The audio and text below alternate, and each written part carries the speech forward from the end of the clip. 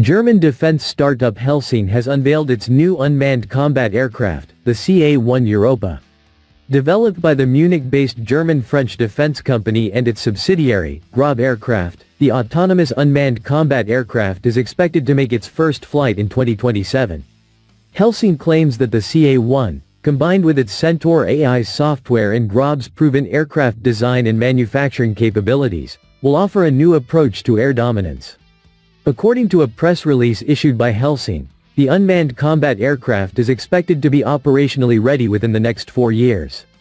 In this context, the CA-1 Europa stands out as a 3 to 5 ton autonomous unmanned combat aircraft designed to deploy a large number of affordable and flexible platforms in high-intensity operations, known as intelligent mass.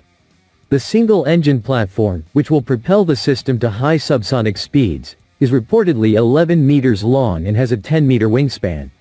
It also emphasizes the system's modular design, which allows for the integration of internal weapons bays, sensors, electronic warfare, EW, systems, effectors, and self-defense equipment. The system is also reportedly capable of being programmed to perform defined missions independently and conducting simultaneous operations with swarms of UAVs. The CA-1 Europa is currently based on Helsing's growing portfolio of artificial intelligence technologies.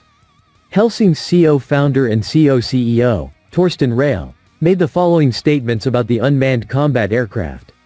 Unmanned combat aircraft will become a key capability for achieving air dominance and ensuring our security.